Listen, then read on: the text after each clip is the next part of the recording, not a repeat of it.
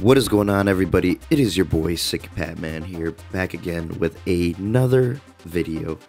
Sorry if I sound like absolute crap, but we got some good news finally today, guys.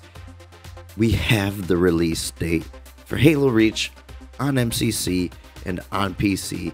So I'm excited to finally share it with you guys. I'm also going to play a trailer in the background later in the video. This was all announced at XO 2019 in London, England.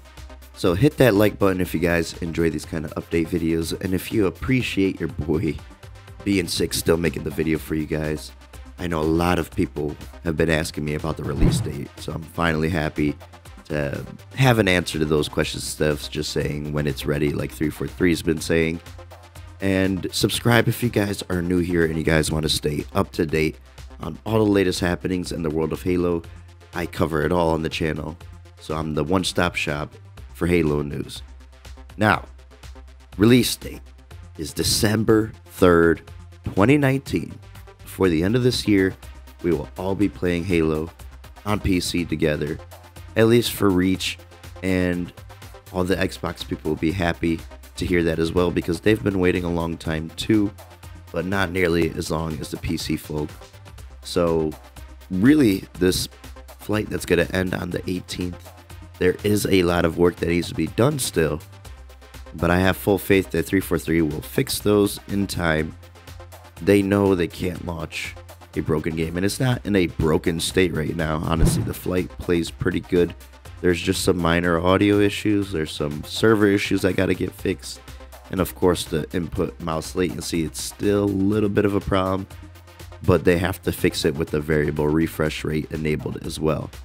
And I have no doubts that all that will get fixed in time because 343 said they will not ship this game until it's ready, and I expect them to stick to those guns.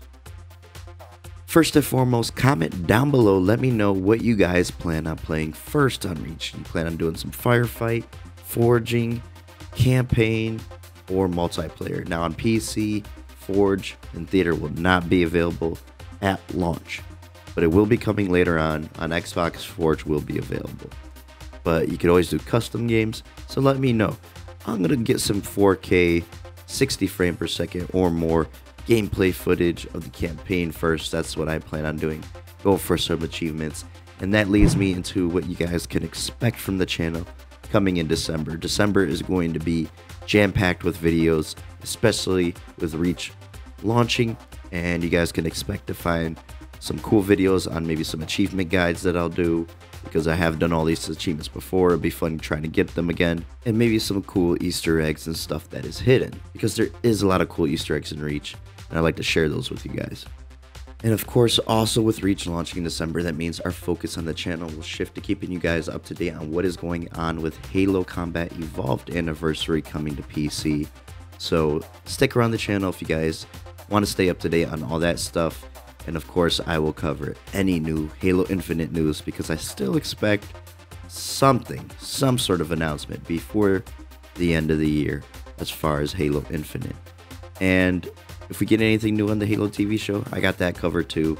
So keep it locked here, guys. I appreciate all you guys who have stuck around in the video. And I will catch you guys, hopefully, on my next video. It's been real, people. It's been a long journey. I'm glad we're finally here. Now it should start to snowball, and we should see more and more games from the Master Chief Collection come to PC in a sooner amount of time, hopefully.